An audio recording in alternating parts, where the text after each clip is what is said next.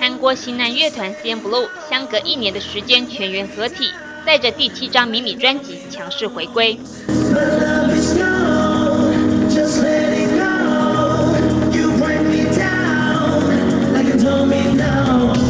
受邀出演躺播节目，四个大男孩躺在地毯上，回想起过去同居的宿舍生活。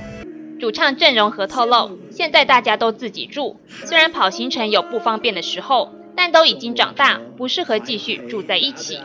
吉他手李宗铉有些感慨地表示，现在一个人回到家总是很安静，虽然这样不错，但有时也很怀念大家凑在一起吵吵闹闹、喧哗的时光。